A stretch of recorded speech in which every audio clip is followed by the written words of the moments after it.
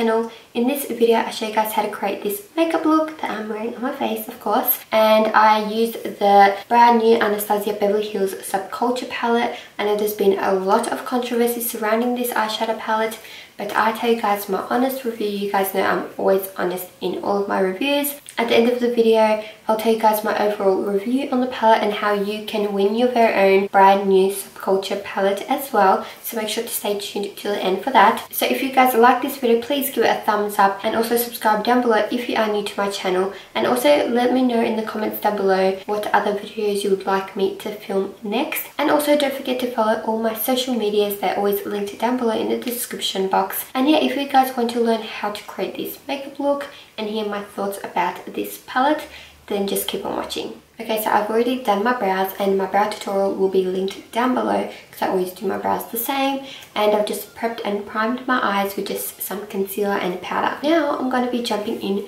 to the Subculture palette and I'm so excited to try this out. I know there's been a lot of controversy surrounding this palette. I haven't really watched any YouTube tutorials on it, but I've seen all over Instagram and Twitter everyone going crazy about this, saying that there's a lot of fallout, a lot of kickback and it's not blending. So I'm here to try that for myself, but I'm hoping I like it because I love Anastasia. I love, love her eyeshadows. I think they're amazing quality. So of course you get the little mirror inside and I'm sure you've already seen what it looks like, but that's just the inside of the palette and there are a total of 14 shadows in this palette and you also get a dual ended brush in here as well. Personally I love love love the Modern Renaissance palette and the Master palette by Mario but I find in those palettes that there is a lot of kickback in them.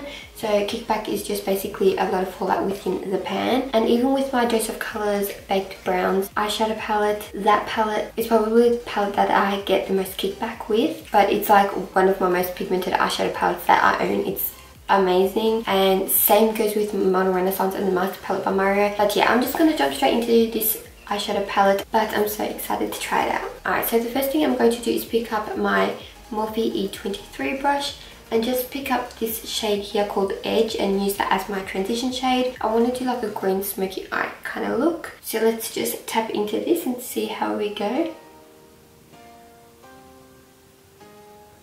That isn't even bad, what the heck? There's barely even any kickback. Have you seen how many times I've tapped into that? Here's a close-up so you can see. There's like barely any fallout. Let me tap again. That's like normal. I'm just going to apply that into my transition shade. And I hope it's not patchy or anything though. Oh, look at how pigmented that is.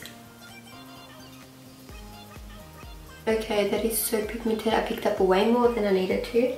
I think that's just because I was tapping into the pan to see how much fallout I would get. Okay, so far it's blending out so easily. Like maybe it's just a um a batch issue where maybe some people got good palettes and some people got bad ones. But honestly, I'm really happy with that shade. Hopefully the other shades are okay as well.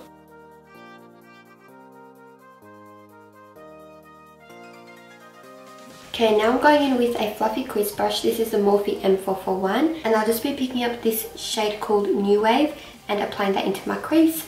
But let's just see how much kickback this one will get. So let's just tap into that. That's fine as well. It's got a little bit more kickback than Edge. Here is an up close. As you can see, it's not even that bad. It's like the Modern Renaissance, honestly. I don't really find much of a difference with the kickback between this and Modern Renaissance. They both have same amount of kickback to me, so...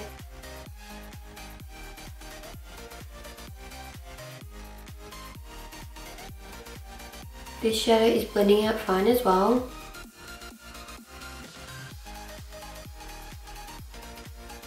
Okay, now I'm just picking up a flat shader brush. This is the Zoeva 234 brush. And I'm just going to be picking up the shade Axis. So I'm just going to pounce in there. Okay, that's not bad. Yeah, it's a close-up. That one's just normal as well. I don't find a problem with that shade, so I'm just going to pack that onto my lids. Okay, look at how pigmented that is. And don't worry, I will be blending it out. So I've just zoomed you guys in so you can have a look close up. I haven't really even gotten any fallout from these eyeshadows. I've just gotten the tiniest bit from the Axis shade that I just applied on my lid. That is literally it. no fallout. If you know me, you know I love Anastasia Beverly Hills. I love her products so much, especially her eyeshadows. But I will always be honest with you guys and give you guys my, like, I'm got my voice. But I will always be honest with you guys and give you my honest review all the time. No matter if I love a brand or if I hate a brand, I'm always going to be straight up with you guys and tell you my honest opinion if I love a product or not and how I feel about it and all that stuff. So I'm just being honest with you guys in this video. So far, I'm loving this palette. I'm seeing nothing wrong with it. Obviously, I'm not trying out every single eyeshadow in this tutorial, but I will do more tutorials in the future using this palette. Okay, so now with another crease brush, this one's a bit more pointed than the one I used earlier. I'm going to use this to deepen up the crease. And this is just a Morphe M433 brush. And I'm just going to be mixing Axis and New Wave and applying that into my crease and this will just like help blend in the lid with the crease. Okay, so I'm finding it fine to blend the shadows together. Okay, the only thing I've found is that while blending the crease, it's kind of come off on the lid. If you can see, I'll zoom me in. But it just kind of come off on the lid a little bit while blending the crease. By the way, would you guys like when I do tutorials if I'm this zoomed into my eyes? Let me know.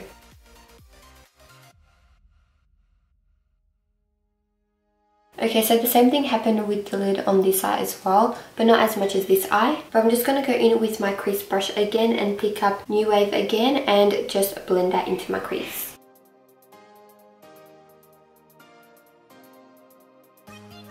Now I'm just going to apply Axis on the lid once again. And then going in with the M433 brush again and just a little bit of Axis, I'm going to apply that into my crease. Okay, the only thing I find is that you have to be really careful when blending the crease because you can take off a bit of the lid shade or with Axis in particular. That's honestly the only like downfall I guess you could call it so far of this palette. Now when I'm blending out this crease, it's not really happening on this side, it's more so the other eye on this side. Now just with the Morphe E23 and the transition shade again edge, I'm just going to apply that in my transition shade area again just to make sure everything blends in. Again, I don't get with this shade, especially Edge, barely has any kickback and I've been seeing people swirling the brushes in it and they're going like crazy but honestly for me it's fine. I feel like it's probably like a batch issue. I don't know. Now I'm just going to go back in with my flat shader brush and apply the tiniest bit of Axis again onto my lids. Just blend that out a bit.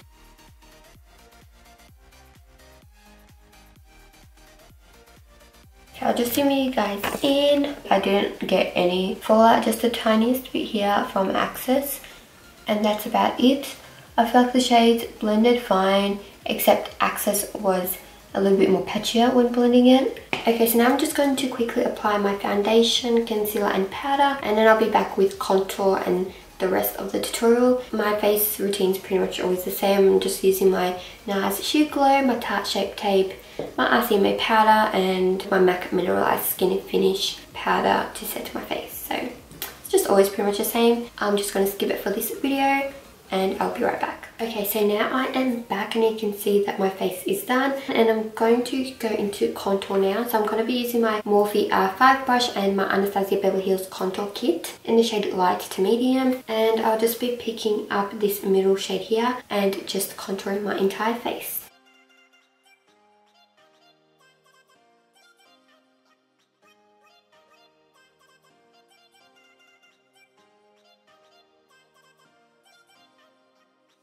And I'm just switching up to a smaller brush. This is the Morphe M139 just to contour my nose. And then I'm just going to blend out the nose contour. And now I'm going to be bronzing my face with my all-time favourite bronzer, the Benefit Hoola Bronzer. I finally have a new one, so I'm just going to bronze up my entire face with it using the Morphe M177 brush.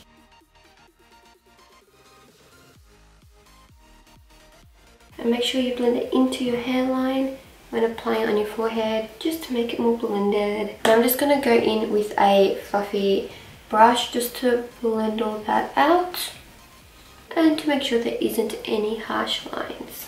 And now with my Damp It Beauty Blender and a little bit of my RCMA No Colour Powder, I'm just going to clean up the tiniest bit on my jawline just to give my face a more chiseled look.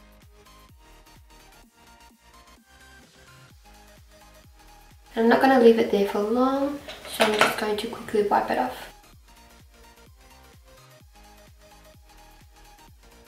I hate when this happens sometimes, like you can't wipe it off. So I'm just going to be moving on to my highlight now and for that I'm going to be using the Anastasia A23 brush and of course spraying it with my MAC Fix Plus spray. And I'm also going to be spraying some of the Fix Plus to my face. And for my highlight I'll be going in with the Anastasia Beverly Hills So Hollywood Illuminator.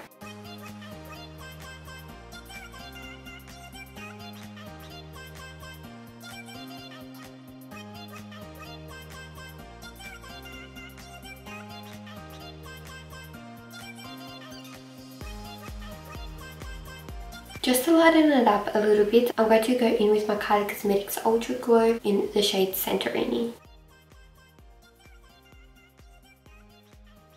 And I'm just going to be applying this Tarte blush in the shade Seduce with my Morphe M530 brush. And I'm just going to apply it to my cheeks starting from the top, working my way down in circular motions. Okay, so now we're back into the eyes and I'm just going to finish off the lower lash line. So I'm picking up my 226 Zoeva smudger brush and I'm going to be picking up this shade Axis. And now I'm just going to smudge it along my lower lash line. And look at the difference that that just makes. It looks so much better. My eyes are so sensitive and whenever I do my lower lash line or my waterline or anything, my eyes always get watery. And now with the brush that comes in the Subculture palette, I'm going to be picking up the shade New Wave with the more tapered, dense side. And I'll just be smoking out my lower lash line. Now for the inner corner of my eye, I just sprayed my 238 Zoeva brush, just like a really small detail brush. And I'm just going to be picking up this shade Electric and applying it to the inner corners of my eyes. That is electric. It's so bright. I really like that inner corner. And I'm just going to apply a bit of the Santorini highlight to my brow bones. I'm just going to blend out that harsh line on my brow bones with my 224 Zoeva brush. Honestly, this inner corner, the shade Electric, as weird as it sounds, it's giving me like Shrek vibes because it's like so green. It looks so good though, I actually really like it. So now I'm just going to set my face with my MAC Fix Plus spray.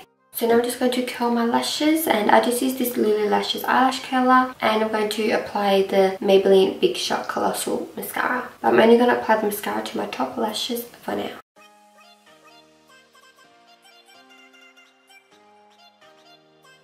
Okay, so now just quickly off camera, I'm going to apply my Lily Lashes in the style Mykonos. Okay, so now that the lashes are on, I'm just going to apply mascara to my bottom lashes. And now lastly is the lips. So I'm just going to go in with my Kylie Cosmetics Dolce K lip liner just to line my lips.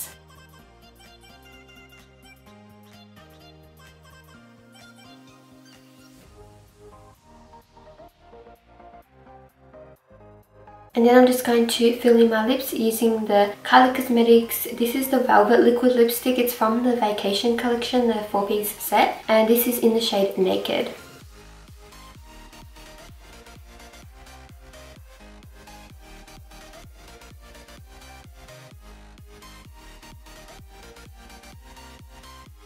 Okay, so that is it for this makeup look and now going into the review for the palette.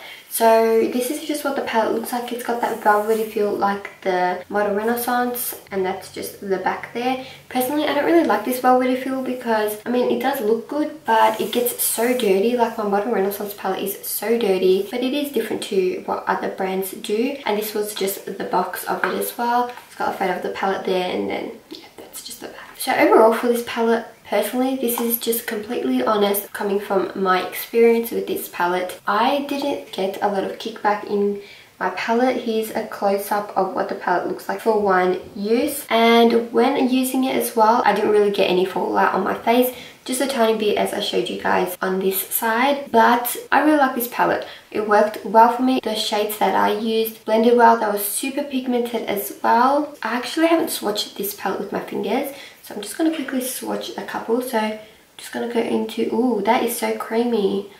Okay that's fudge. That was so creamy and buttery and it's so pigmented.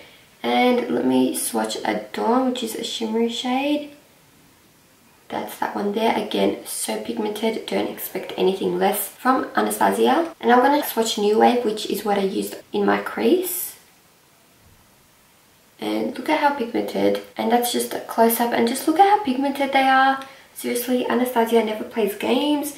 Personally, I love, love, love her eyeshadow formulas. It's just that one shade Axis that went a bit patchy when blending my crease and it came off on the lids a little bit but then I just fixed it up and as you can see now it's all fine. So it wasn't like a big issue. It just takes a bit longer to work with, I guess, compared to my other eyeshadow palettes that I own. But also, I just want to mention that, like, if my palette was super powdery and had a lot of kickback, then I like would be really cautious when using it and I wouldn't like swirl my brush in it 10 times. Like I've seen all over Twitter, like so people just swirling their brush in their pans and hitting like pans straight away. But like to me, if I realized it was super powdery, I'd be like, well, like I better stop for a second and I better use this really lightly and I'd be super cautious with that. I mean, I get the point, like some people are doing it just for like the YouTube videos, reviews and that sort of thing.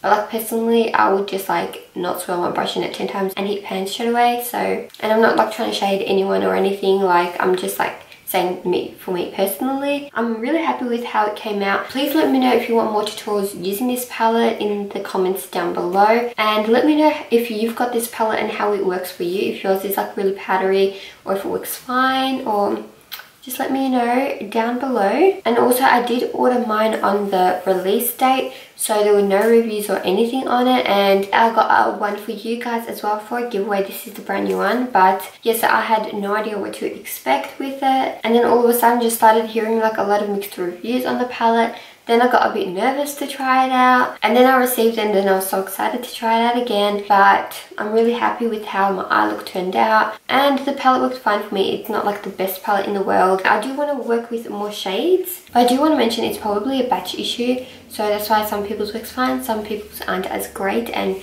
super powdery and whatnot. Uh, and also it does retail for 42 US dollars. And now I have a brand new one to give away to you guys. I bought this the exact same time I bought my eyeshadow palette and I haven't even taken this out of the bubble wrap. It's like brand new, not touched or anything. And it's been a while since I've done a giveaway and when this was coming out I was like perfect. It's a brand new launch. It looked amazing so I had to pick one up for you guys as well. So yeah, it's just a subculture palette of course. But I can see through the bubble wrap that it's got the same number as my palette. So I think it's come from the same batch. So if my palette's fine then this one should be as well and hopefully it is. So if you want to win this palette, then just follow my Instagram. I'll have it here. It's just underscore it's Martina XO and just follow the steps on this photo that is on my Instagram. And it's really easy. It's super simple and it is an international giveaway. Everyone can enter no matter where you live and just make sure if you are under 18 that you have your parental or guardian consent and that you are allowed to enter the giveaway. So make sure you give this video a thumbs up if you liked this video and let me know in the comments down below what other videos you'd like me to film next and if you would like another video using this palette. And thank you guys so much for watching. I really appreciate it and I'll see you in my next one. Bye!